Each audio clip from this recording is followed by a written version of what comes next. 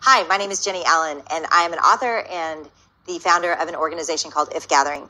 And today we're looking at Matthew 5:10. Blessed are those who are persecuted for righteousness' sake, for theirs is the kingdom of heaven.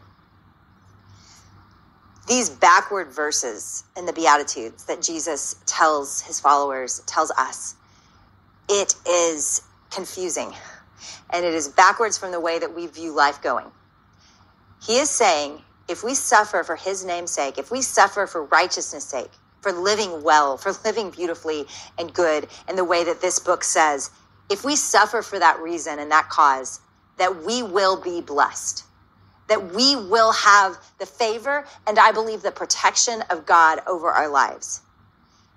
And I'm going to say this that it is getting harder and harder to live for righteousness' sake, to live the way of Jesus just because we believe it is the right way to live, that He created us and set us in motion, and He knows how we're supposed to live. Right in that verse means the right path, the singular direction that we are supposed to take.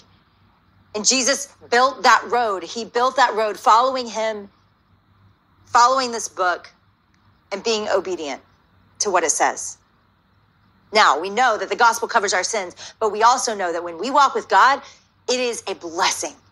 I have watched it most often in my children's lives. I have watched my children as they have chosen two roads, right? I've watched them choose the opposite of righteousness sake and I've watched them choose righteousness. And every time they choose righteousness, it goes well for them. And the same is true for you and me. So we choose it and we trust. And it may not feel like we're blessed today, but that is the way we were meant and built to live.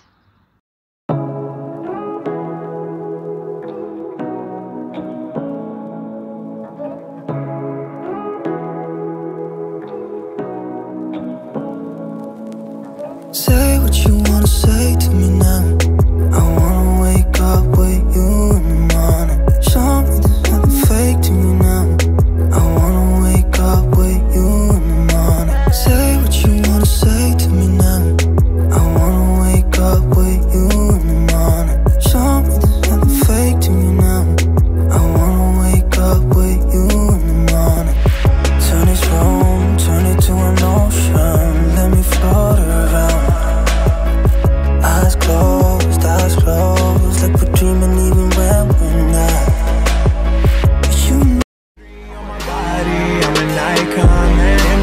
out of ten.